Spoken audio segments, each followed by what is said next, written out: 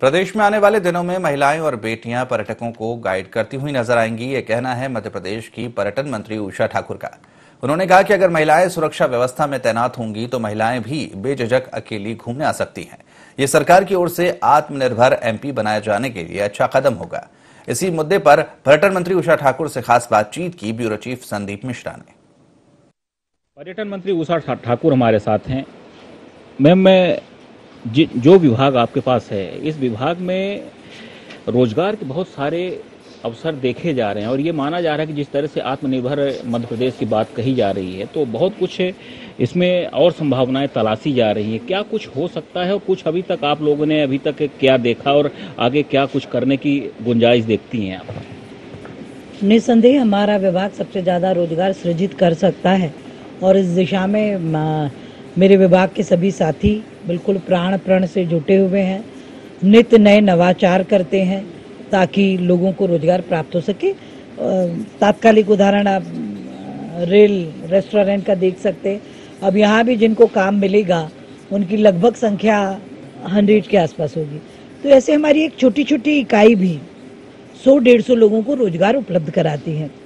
तो पर्यटन विभाग इस दिशा में बहुत ही संवेदनशीलता के साथ चिंता कर रहा है। जहाँ जहाँ हमारी प्रॉपर्टीज़ हैं, जहाँ हम पुरातात्विक ऐतिहासिक भवन है, वहाँ के भाई बहनों को कहीं हम गाइड बनने का प्रशिक्षण दे रहे हैं। कहीं हम उनको हॉस्पिटलिटी का प्रशिक्षण करते हैं, कहीं उनको कुकिंग और बैकिंग ये सब की कहीं ना कहीं उनको रोज़गार उपलब्ध हो। ओरछा में हमने बैटरी रिक्शा बहनों को उपलब्ध कराए, ऋण भी दिलाए।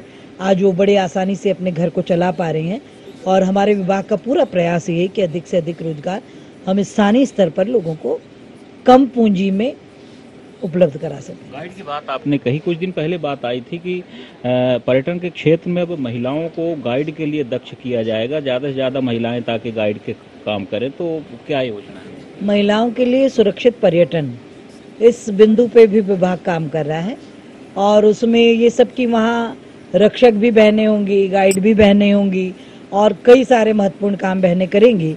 ताकि यदि मान लीजिए घर की महिलाएँ भी अकेली घूमने फिरने जाना चाहती हैं तो वो भी अपने आप को महिलाओं के बीच में सुरक्षित महसूस करें और विश्वास के साथ हमारे पर्यटन स्थलों पर आ सकें।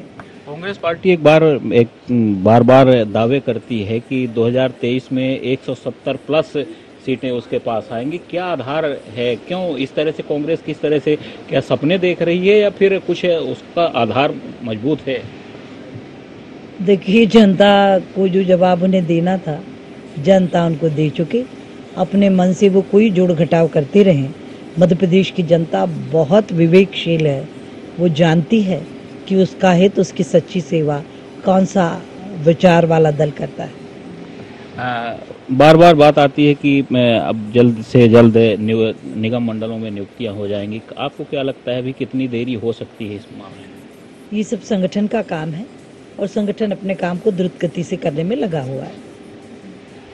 तो आपने देखा कि पर्यटन के क्षेत्र में बहुत कुछ है और उसमें बहुत कुछ तलाशने की कोशिश की जा रही, महिलाओं को भी आगे लाने की कोशिश की जा रही। उम्मीद है कि आगे बहुत कुछ देखने को मिलेगा। वीडियो जर्नलिस्ट राकेश के साथ संदीप मिश्रा ये डी ट्वेंटी भोपाल।